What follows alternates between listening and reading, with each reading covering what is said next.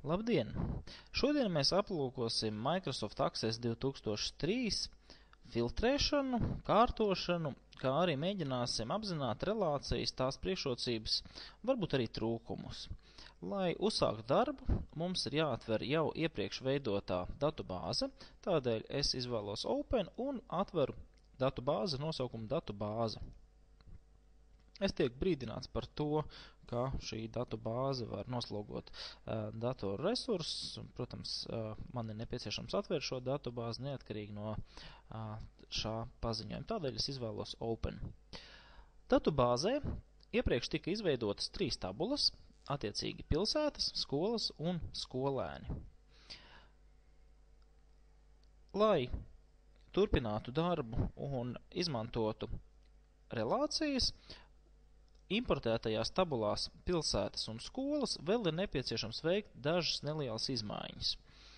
Bet tās mēs veiksim pēc tam, kad būsim aplūkojuši filtrāciju un datu kārtošanu. Ar datu kārtošanu un filtrāciju ir jāuzmanās, galvenokārt jāuzmanās tieši ar datu kārtošanu, jo, ja dati tiks uh, sakārtoti tādā secībā, kāda būs nepieciešama un saglabāti, rezultātā var rasties problēma ar līdzinējiem datiem, jo tie uh, tiks saglabāti uh, citādā secībā. Aplūkosim ar piemēru, kā izmantot datu kārtošanu. Lai uh, to paveikt, atvērsim tabulu skolēnu, ko es izdaru ar dubultu klikšķu palīdzību. Manā priekšā ir uh, tabula skolēna, kurā ir sarakstīti vārdi, uzvārdi, dzimumi, attiecīgo piecu kontrolu darbu rezultātu un dzimšanas datums, kā arī ID koloniņa visiem šiem skolēniem, kuri kopumā ir 59. Ja es vēlos veikt kārtošanu, tad uh, tas ir panākams ļoti ātri, ieklikšķinot kādā no kolonnām, kurā es vē, vēlos veikt kārtošanu. Augšējā rīku joslā izvēlos sort ascending, tātad kārtošana alfabēta secībā, un tiklīdz tas tiek izdarīts, tā konkrētā kolona tiek sakārtot alfabēta secībā. Līdzīgi es varu veikt kārtošanu arī jebkurā citā kolonnā alfabēta secībā vai arī pretēji alfabēta secībai un atgriezīšos pirmsākumā, ieklišinot ID kolonnā un veicot šo te kārtošanu alfabēta secībā, kas man manā gadījumā atgriež sākotnējā izskatā visu šo tabulu. Ja es saglabātu šo te kārtošanu, tādā gadījumā tiek saglabāta tāda situācija, kāda ir tikus sakārtota. Ja man nebūtu šī te identifikācijas lauka, un uh, dati tiktu sakārtoti alfabēta secībā un saglabāti, kā arī aizvērta tabula, tad rezultātā tabulas dati tiktu pilnībā mainīti, un es vairs nevarētu atgriezties pie iepriekšējās situācijas. Tādēļ ar kārtošanu ir jāuzmanās. Krietni interesantāk un liederīgāk ir izmantot filtrāciju. Datu bāzei nav jēgas, ja tajā ir tikai un vienīgi tabula, un tabulā esošos datus mēs vienkārši varam aplūkot. Tādēļ ļoti labi ir tad, ja datu bāzei ir izveidoti dažni dažādi kārtošanas un atlases kritēriji. Pašus vaicājumus mēs aplūkosim mazliet vēlāk, bet arī filtrāciju daļēji var saistīt ar šo pašu tēmu. Tādēļ aplūkosim filtrāciju, kas tā ir un kā to var izmantot šajā gadījumā. Tā piemēram, es redzu a, sarakstu ar 59 jau iepriekš minētajiem skolēniem, un a, tas man šajā gadījumā īpaši neatvieglo, jo a, man, lai pētītu šos te datus, joprojām tie ir jācaurskata un jāanalizē pašam. Es vēlētos redzēt tikai un vienīgi, piemēram, vīriešu kārtas pārstāvis. Šajā gadījumā vīriešu un sieviešu kārtas pārstāvis sajaukt kopā, līdz ar to visus redzēt tikai viena dzimuma pārstāvis ir diezgan apgrūtinoši. Protams, būtu iespējams veikt šajā gadījumā filtrācija, atvainojas kārtošana pretēji alfabēta secībai, un tādā gadījumā pirmie būtu vīriešu kārtas pārstāvi, un tad es redzētu konkrēto viņu datus. Bet es šajā gadījumā pielietošu filtrāciju, un lai pielietotu filtrāciju, ir pieejams šādas te trīs pogas, bet daudz efektīvāk un pilnvērtīgāk var izmantot sadaļā records filtru. Un konkrēti šo pēdējo filtrāciju, tātad tā ir mm, filtrācija, ar kuru mēs varam noteikt konkrētus parametrus, ko un kā filtrēt. Tādēļ es izvēlos no Records Filter Advanced Filter un Sort. Un šajā gadījumā arī uzsākšu šo uh, filtrāciju. Līdzīgi var rīkoties arī uh, neizmantojot filtrāciju, bet veikt tikai un vienīgi kārtošanu. Uh, Tomēr efektīvāk ir pielietot tieši filtrāciju, jo ar tās palīdzību mēs varam šos datus ne tikai sakārtot, bet arī filtrēt. Paralēli tātad tiek veiktas divas darbības vienlaicīgi. Sāksim ar vienkāršāko. Šajā gadījumā to, ko es uh, veicu jau iepriekš, piemēram, vienkārši sakārtot uh, vārdus alfabēta secībā. Es izvēlos lauku vārds un atstāju alfabēta secībā. Ja tas ir ticis izdarīts, tādā gadījumā noklikšķinot filtru apply filter un sort, es iegūstu rezultātu, ka vārdi ir sakārtot alfabēta secībā. Tieši to pašu es varēju panākt kārtojot ar šīs pogas palīdzību.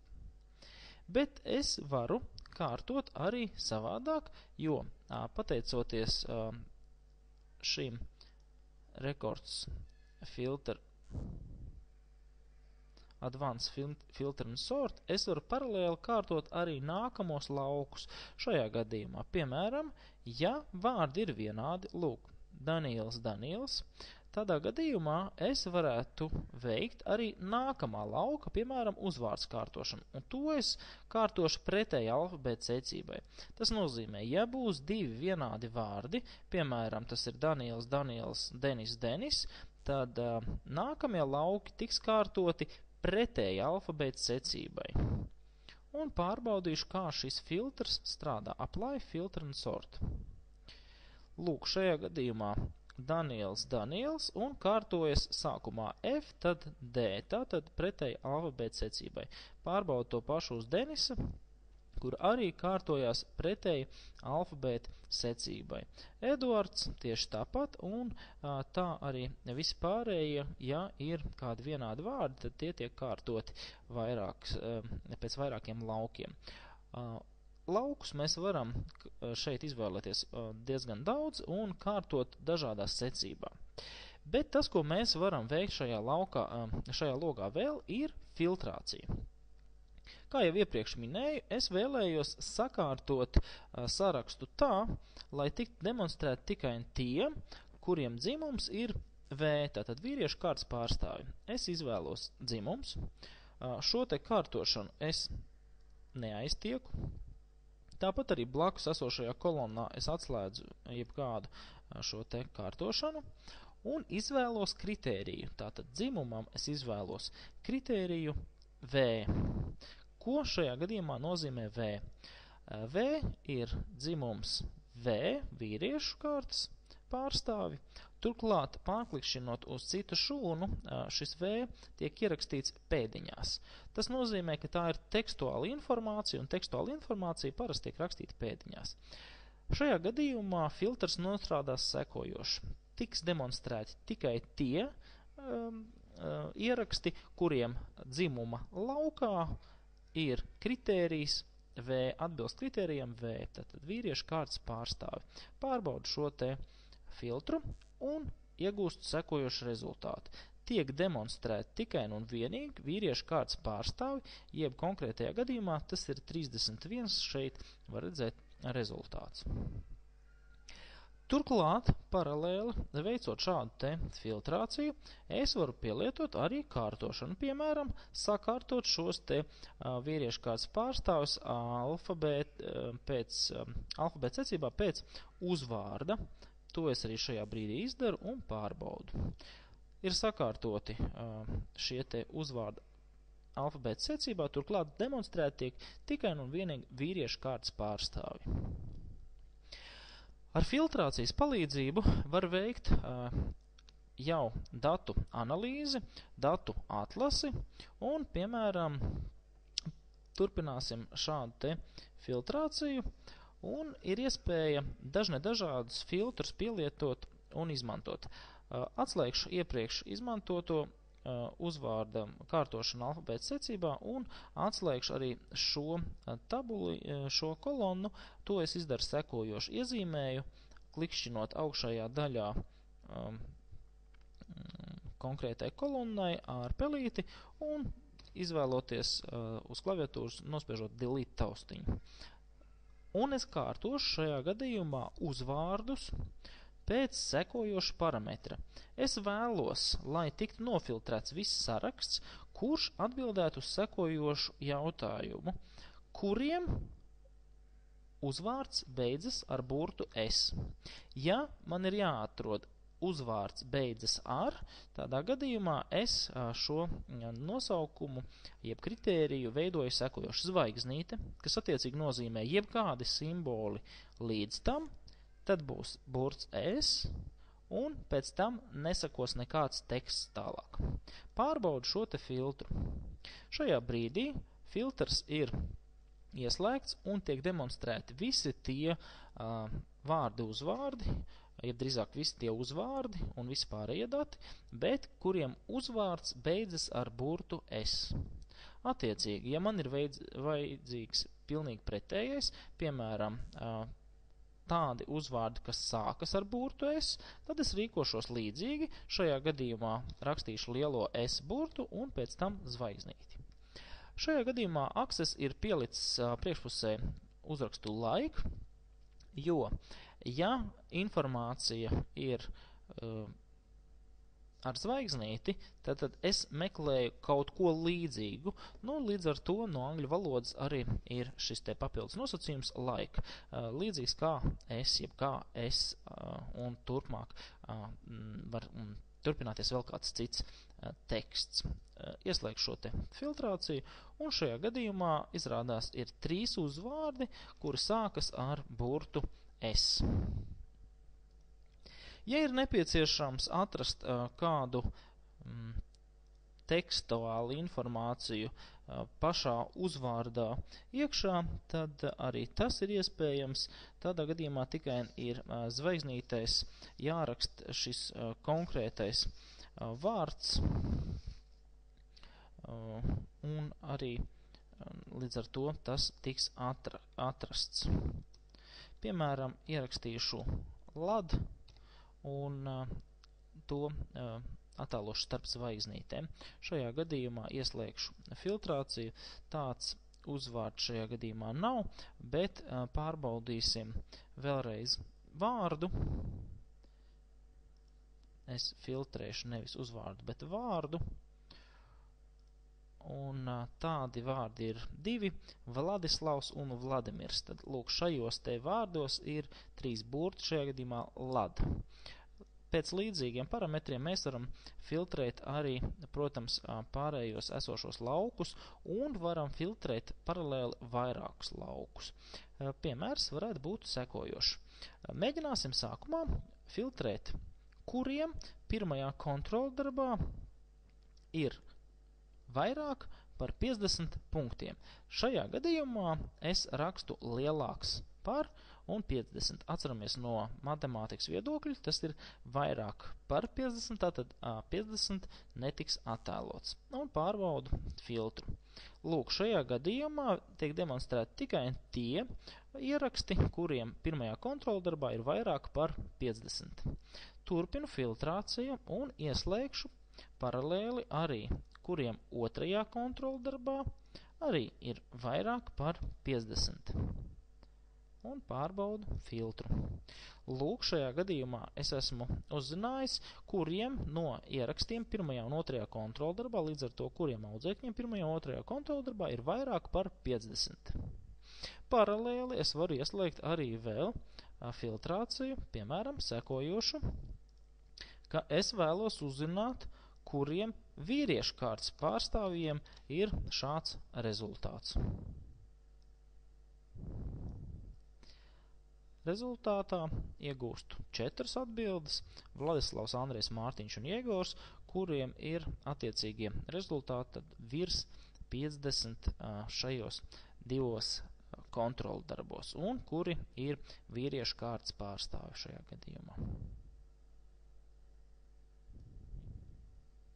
Ja ir nepieciešams izmantot uh, 50 un vairāk, tādā gadījumā ir jāraksta tieši vienāds vai lielāks. Vienāds atkarībā no tā, kas ir nepieciešams šajā gadījumā. Es uh, vēlos ieslēgt šādu filtru un pārbaudīšu, vai uh, tāds ieraksts ir. Šajā gadījumā es uzreiz redzu, ka tāda ieraksta nav, tādēļ, protams, es mainīšu uz uh, tādu, uh, kurš uh, būs un kurš mums sniegs atbildi. Konkrēt šajā gadījumā es redzu, ka Iegoram otrajā kontroldabā ir 82, un es ierakstīšu vienāds ar 82. Uh, tādā gadījumā šo filtru uh, kad nostrādā šis filtrs, tiek demonstrēti mm, divi rezultāti, jo ir bijis uzdevums vīriešu kārtas pārstāvi, kuriem ir 82 otrajā kontroldarbā, vai vairāk vai vienāds ar 50. Šādā veidā mēs varam dažne dažādi pielietojot filtru atlasīt to informāciju, kas mums ir nepieciešama. Atšķirībā no mm, skaitliskās informācijas un tekstuālās dzimšanas datumiem ir arī iespējama filtrācija, bet arī tur ir mazliet savādāks šis te pieraksts jāveido. Pirms tam vēlos pateikt, ka ir iespējams, protams, lielāks par konkrēto skaitli, mazāks par konkrēto skaitli, vienāds ar konkrēto skaitli, lielāks vienāds, attiecīgi mazāks vienāds, vai arī nevienāds. Tādā gadījumā tiek atlasīti visi tie um, gadījumi, kad nav vienāds ar konkrēto situāciju. Es vēlētos izveidot tādu filtru šajā brīdī, kurš man demonstrētu tos uh, audzēkņus, kuriem dzimšanas diena ir pēc 90. gada 1. janvāra, ieskaitot arī šo te 1. janvāri. Sākumā es izdzēsīšu uh, visus šos te, uh, visas liekās kolonniņas un veidošu vēlreiz, un vaicājums būs sekojoši.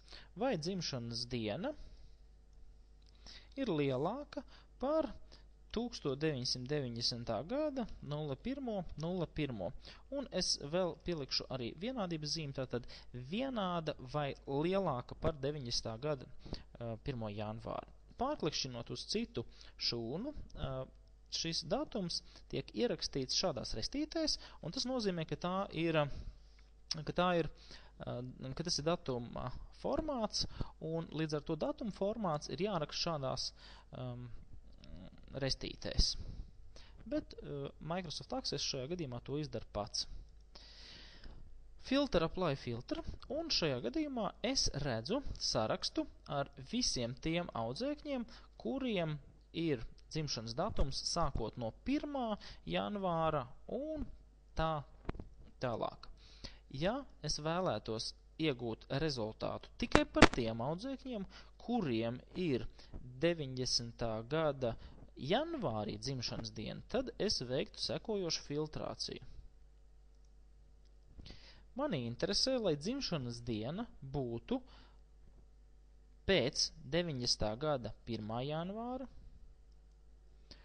un vēlreiz es gribu, lai šī te dzimšanas diena ir tomēr mazāka vai vienāda ar šī te paša 1990. gada 31. janvāru. Citiem vārdiem sakot, es meklēšu tās dzimšanas dienas, kas ir starp šiem diviem robežu datumiem, jeb šajā intervālā. Lūk, šajā gadījumā es redzu dzimšanas dienas, kuras ir tikai tiem cilvēkiem, jeb tiem skolēniem, kuriem dzimšanas diena ir bijusi 90. gada janvārī. Ieslēgšu vēlreiz šo filtrāciju un veikšu sekojošu filtru. Es vēlos redzēt, kuri um, no sieviešu kārtas, kurš no sieviešu kārtas pārstāvēm ir šajā uh, datumā dzimušas. Turklāt es vienlaicīgi šo dzimšanas datumus um, vēlos sakārtot alfabēta secībā, jeb augošā secībā, un veicu filtrāciju. Lūk, tiek filtrēts lauks S, tiek filtrēts dzimšanas datumi, un šajā gadījumā es redzu, sākot no 90. gada 1. janvāra līdz 31. janvārim, tikai tās uh, meitenes, kurām ir tajā laikā uh, bijušas attiecīgi dzimšanas dienas, un esmu iegūst no visas lielās datu bāzes, no konkrētās tabulas, tikai tos datus, kur attiecīgi uh, dzimšanas diena ir janvārī. Protams, es varētu veikt jau kādas citas filtrācijas, uh, filtrēt uh, pēc kontroldarbiem, pēc rezultātiem, pēc vārdiem, uzvārdiem, uh, kārtot konkrētajās secībās, viss atkarībā no tā, ko es šajā gadījumā vēlos panākt. To tātad visu mēs varam panākt ar dažādu filtru palīdzību. Nospiedīšu šo pogu, rezultātā tiks dzēsti jebkādi filtri, un es atgriezīšos pirmsākumā un sakārtošu ID kolonu alfabēta secībā, kā tas man ir bijis pašā sākumā. Šajā gadījumā filtri nav tikuši saglabāti, un rezultātā tie var uzskatīt, ka ir zuduši. Nākamreiz, ja es atkal vēlos uzzināt, kuri um, ir no audzēkņiem dzimuši 90. gada janvārī, man atkal filtrācija ir jānos, jāieslēdz no sākuma, veicot visas līdzinējās demonstrētās darbības. Aizvēršu tabulu un to saglabāšu. Lai pāriet pie nākamās tēmas uh, relācijas, ir nepieciešams vēl veikt nelielas izmaiņas uh, šajās esošajās tabulās. Konkrēti, atvēršu vēlreiz pilsētas un atcerēsimies, ka šeit ir divi lauki, ID un pilsēta. Attiecīgi ID laukā ir numuri, kas numurējas konkrētajām pilsētām, un blakus ir minēts pilsētas ar šiem te nosaukumiem. Pārslēgšos uz rediģēšanas režīmu tabulai un pārbaudīsim, kādi parametri ir ieslēgti vai tie nav jāoptimizē. Šajā gadījumā laukam pilsēta ir pirmkārtām nosaukums ar garumzīmi, tādēļ es to kopēšu sadaļā caption un savukārt pašu pilsēta nomainīšu uz pilsēta. 255 simboli, manuprāt, ir lieki, tādēļ es atstāšu 25 simbolus pilsētām, un šeit pārliecināšos, ka ir ieslēgts indeks, ir ieslēgta indeksācija, un konkrētā indeksācija ir aizliegt duplikātus. Tātad pilsētām šajā gadījumā nav pieļaujami divas vienādas vērtības. Saglabāšu šo tabulu, atkal tiek informēts par to, ka uh, mainot garumu no 255 uz 25 var tikt zaudēt informācija, par ko es esmu drošs un uh, spiežu yes, ka mani tas mm, nekādā veidā neietekmēs.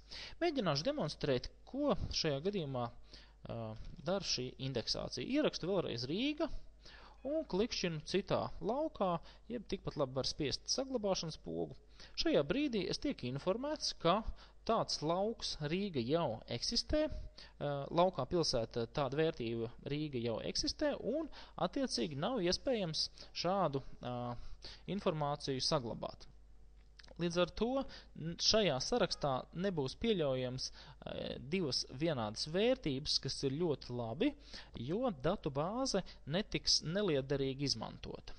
Aizvērš ciet šo sarakstu, un es to nesaglabāšu.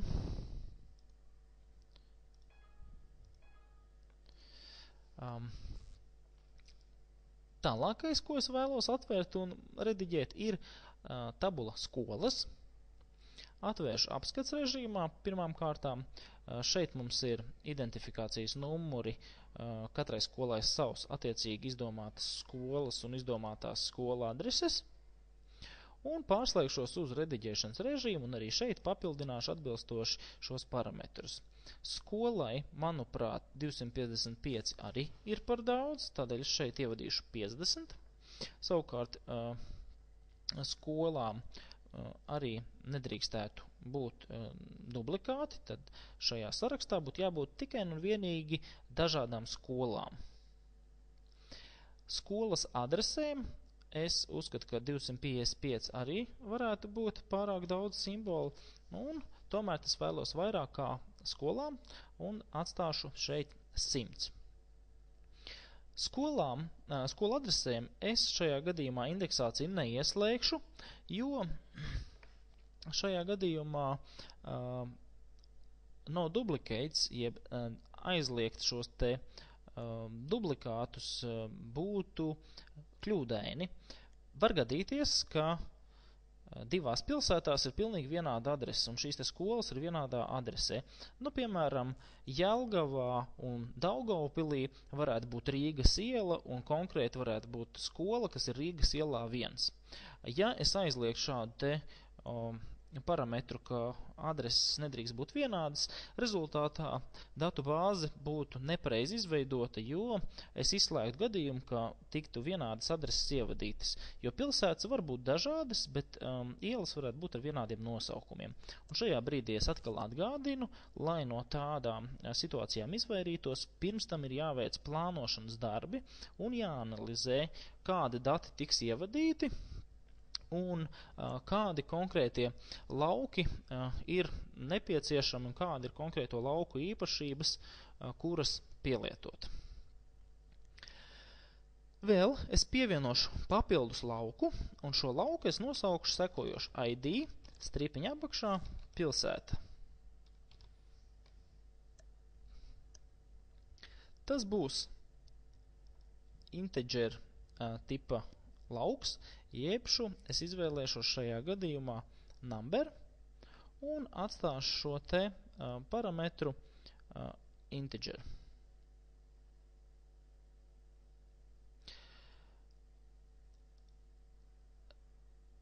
Šajā gadījumā ir jāmaina integer uz long integer, uh, jo kādēļ es izveidoju šādu atsevišķu lauku, ID pilsēta, un uh, mainītam lauku uz šo te um, number, turklāt long integer. Saglabāšu šo te tabuliņu, aizvēršu to ciet un uh, demonstrēšu, ko es šajā gadījumā vēlos panākt. Ir tabula pilsētas, kura sastāv no divām attiecīgām, diviem attiecīgiem laukiem, divām kolonnām - ID un pilsēta.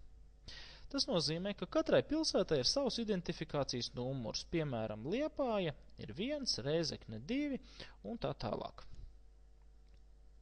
Savukārt skolām Es vēlētos ievadīt katrai skolai, kādā pilsētā viņa atrodas. Šajā brīdī es te varētu ievadīt arī tieši tāpat ar a, tekstuālu informāciju. Rīga, Jelgava, Ventspils, Rīga, Jelgava un tā tālāk. Šajā gadījumā es neliederīgi izmantot datu bāzi, jo a, konkrēti, ja es vēlētos a, ierakstīt Rīga, tādā gadījumā es ievadītu četrus simbolus. Savukārt, ja es ierakstītu Rīgas identifikācijas cipariņu, piemēram, šajā gadījumā tas ir 6, tad tas būtu tikai viens uh, skaitlītis, viens cipars. Es būtu ieekonomējis trīs simbolus. Protams, šajā gadījumā pamatā tie ir tikai trīs baiti, bet jau garākajās pilsētās, piemēram, Daugavpils, ekonomija jau būs vēl garāka. Turklāt, ja šie dati ir ļoti daudz un uh, daudz reizes atkārtojas, arī ietaupījums būs diezgan liels. Protams, ir arī uh, negatīvā puse šādā gadījumā, jo lai uzzinātu, kas tā pa pilsētu ir, numurs 6, būs jāvēršas pie citas tabulas un atkal jānoskaidro, kas pa tabulu ir šī numurs 6. Bet parasti datu bāzēs šādu te saistību starp diviem laukiem izmanto, jo ar tās palīdzību ir iespēja krietni ieekonomēt telpu kādā no datu nesējiem.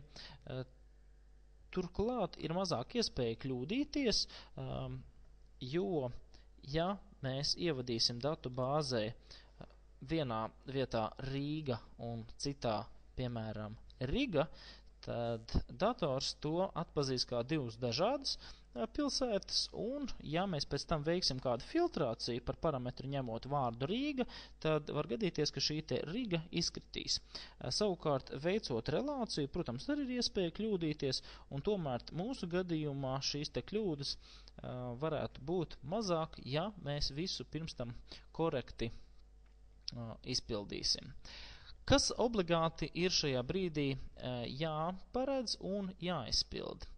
Es izvēlējos šo te uh, number tipu un long integer tādēļ, ka tieši tāds pats ir šis te ID uh, tips, lūk, tas ir long integer tips.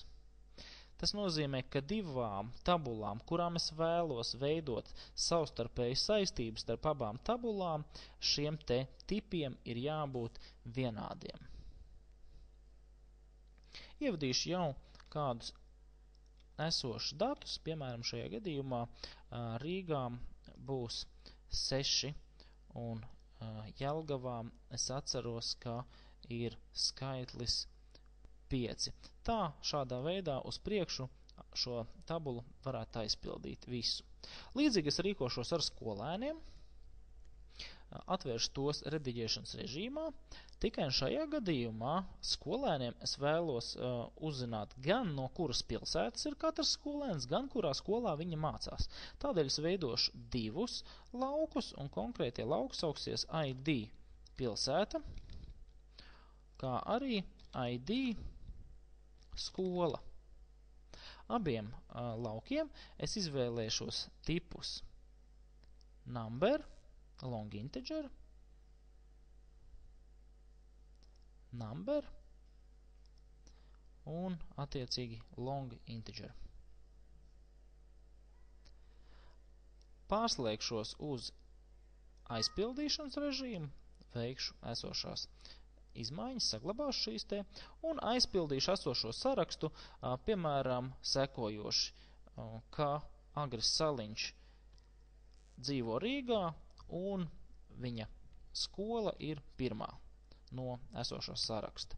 Un tādā veidā es aizpildīšu visu šo tabulu atbilstoši saviem ieskatiem, kā es uzskatu, kurā pilsētā kurš uh, dzīvo un kurā skolā mācas. Piemēram, Agris Saliņš šajā gadījumā dzīvo pilsētā Rīga un mācās pirmajā skolā. Tas nozīmē, ka viņš uh, mācās pirmajā skolā lūk no sadaļas uh, tabulas skolas ID1. Tātad mācās Rīgas pirmajā vidusskolā un sestā pilsēta tad ir ID pilsētas, ir identifikātoru numuriņš no tabulas pilsētas, numurs 6, tātad Rīga. Šādā veidā es nosacīt varētu teikt šifrēju šos datus, jeb saīsinu datus līdz tam, kā man ir nepieciešams. Tad, kad tas ir izdarīts, Tad var ķerties pie nākamā soļa, un šis nākamais solis ir relācijas. Lai veiktu šīs relācijas, ir jāizvēlas tools relationships, vai arī gluži vienkārši jānoklikšķina uh, relationships uh, ikonai. Tiek demonstrēts jauns loks, kurā piedāvāts trīs eksistējošās tabulas. Visas šīs tabulas es pievienošu ar klikšķināšanas un ēdu palīdzību vai dubultu klikšķi uz konkrētās tabulas. Un aizvēršu šo logu ciet. Šajā gadījumā es esmu ieguvis trīs tabuliņas un tiek demonstrēts šo tabulu um, lauki. Lauks ID un pilsēta no tabulas pilsētas, no tabulas skolas ID, skolas skolas adresa ID pilsēta un no tabulas skolēna ID, vārds, uzvārds, dzimums, visi kontroldarbi, kā arī ID pilsēta, ID skola. Ja šī tabula ir pārāk maziņa un nav redzami visi šie dati, ir iespēja šo tabulu pastiept, velkot aiz apakšējās maliņas vai arī stūrīša pa labi, pa kreisi attiecīgi līdz iegūstot tādu izmēru, kāds ir nepieciešams, lai redzētu visus šos laukus. Tagad es veikšu šo te savstarpēju lauku saistīšanu. Pirmām kārtām es vēlos saistīt ID pilsētu lauku ar ID uh, pilsētai.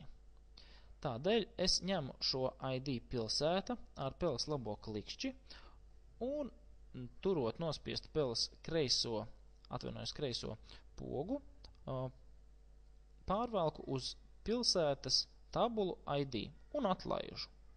Šajā brīdī tiek demonstrēts, ka no tabulas pilsētas lauks ID, tātad šis lauks, tiks saistīts ar tabulas skolas lauku ID pilsētu, tātad šo. Atzīmēšu šeit šo ķeksi, nospiedīšu create un šajā gadījumā ir izveidojusies saite.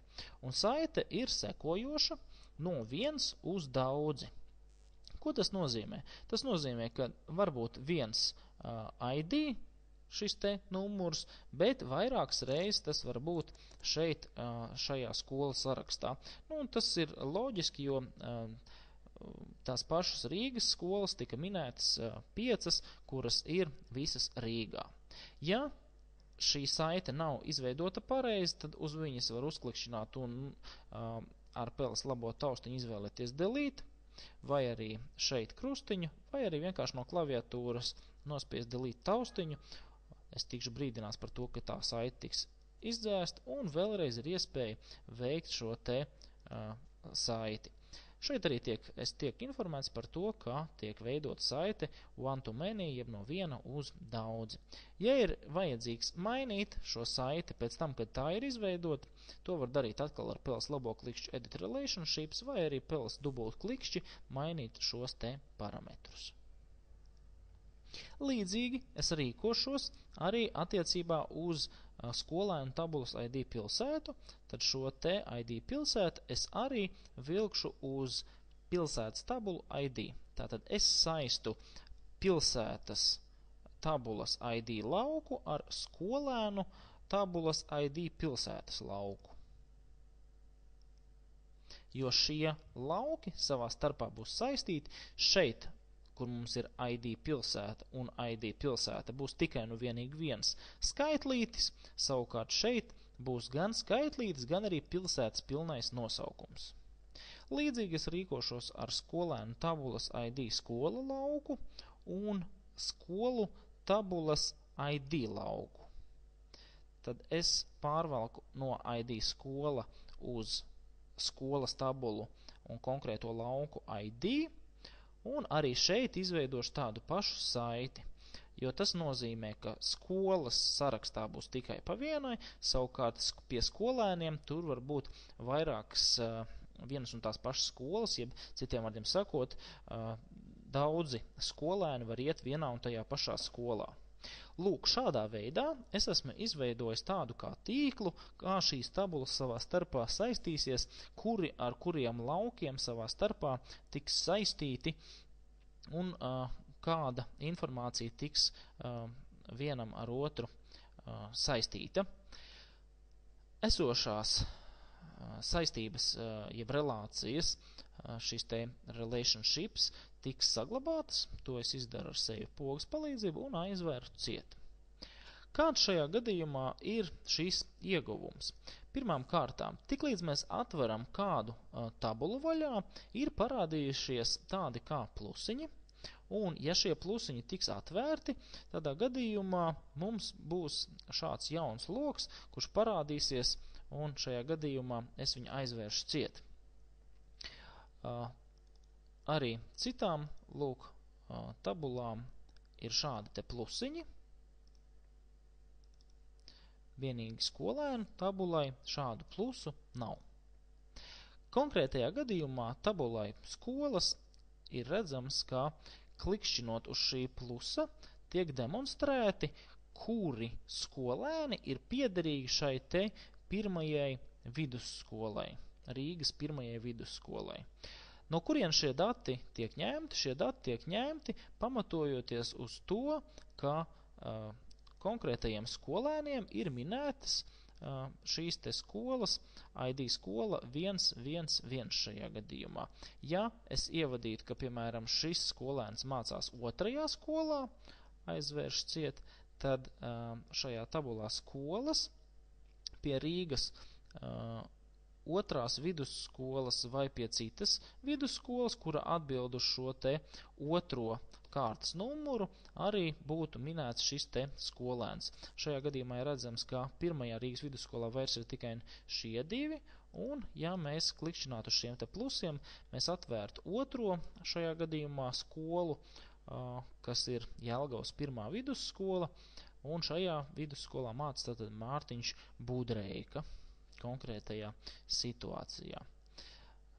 Tad, tad, lūk, ID 1, ID 2, ID 3 arī attiecīgie, kas tiek konkrētajā gadījumā ņemti atkarībā no šīm te pašām uh, pilsētām un skolām.